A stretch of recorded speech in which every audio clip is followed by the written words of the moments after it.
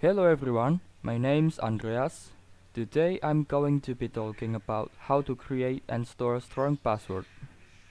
I'll begin by opening NetAcad website on my browser, then go to course index, lab index, and then select 3.1.1.5 lab create and store strong passwords.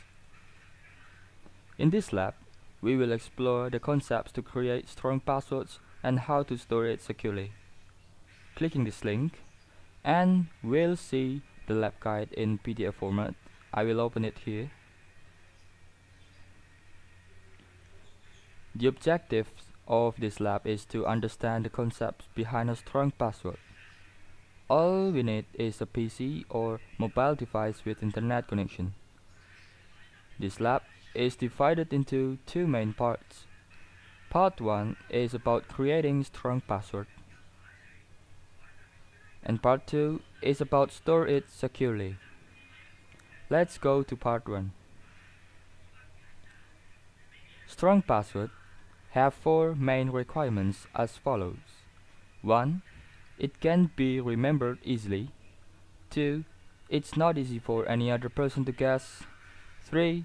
It's not easy for a program to guess or discover.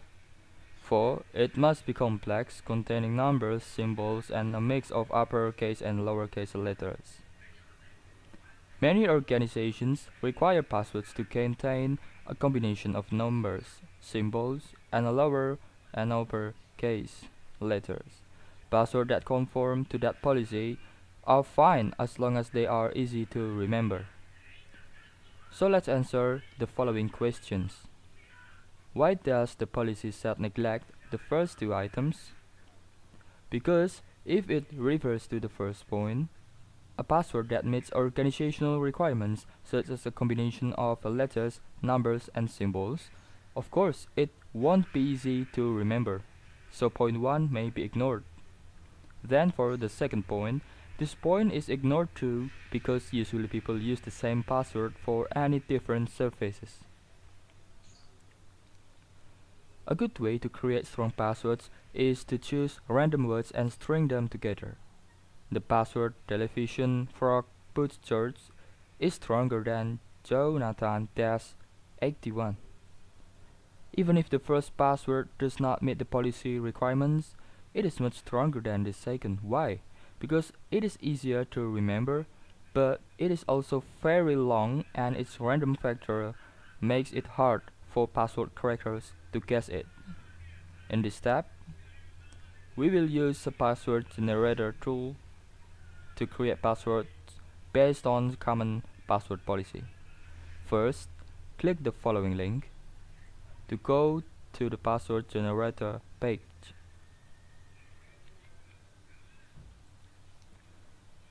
Next, select the option to customize the password policy. Set the password length to 8, minimal, and generate the password. Then look at this password combination. It seems difficult to remember. So going back to the PDF, is the password generated easy to remember? The answer is no, it is not. This time, we will use different generator tools. Let's go to this link.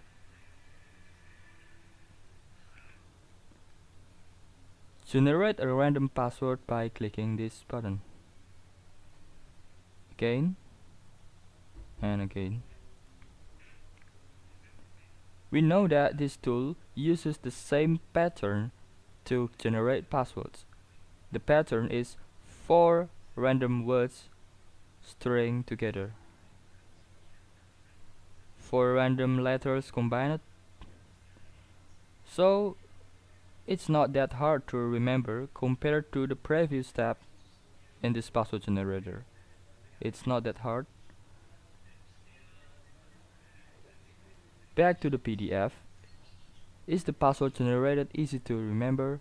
Then the answer is yes it is.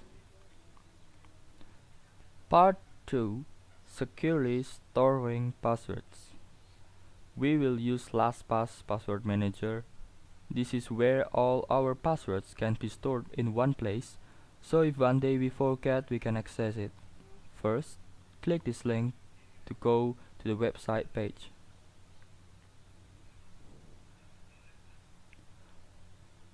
For your information, before we can use LastPass, we have to install the extension in the web browser. But since I have made a, a free trial account before, let's just take a look at what's in here.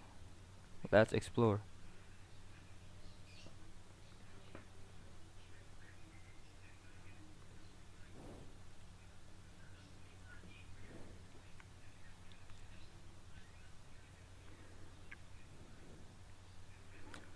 This is the main page of LastPass.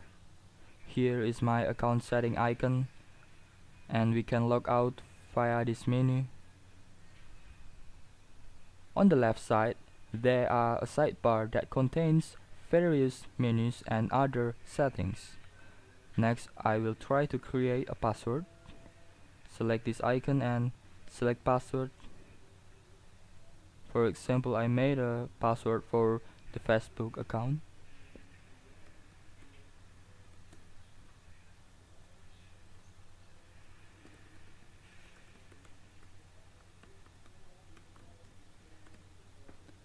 And the password is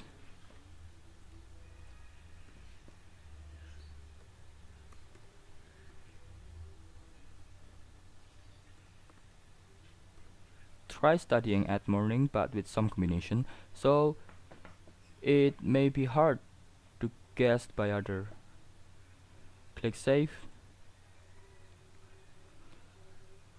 Okay, let's get back to the guide.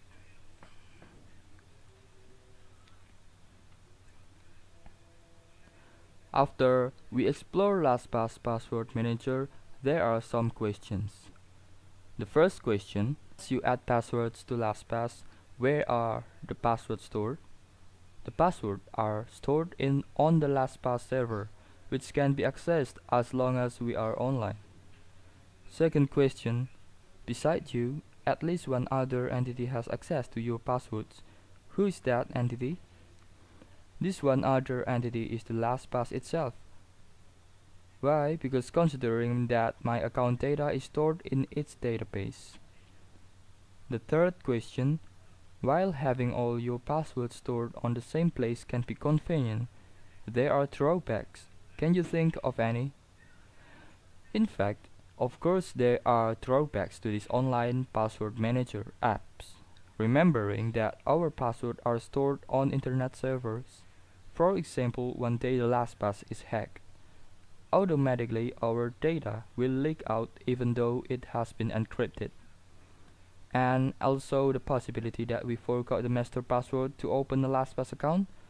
Or even at worst case our LastPass account has been taken over by hackers. Then it's gone. There's nothing left finally the part 3 is conclusion of what a strong password is below is a quick summary 1 choose a password you can remember 2 Choose a password that someone else cannot associate with you.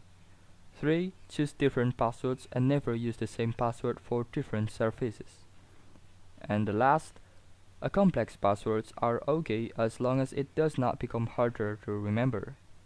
But if you use a password manager, then the needs to be easily remembered can be relaxed because no matter how difficult your password is, you'll still be able to access it when you forget.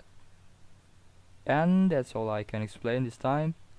Hopefully it's useful for all of us. Thank you.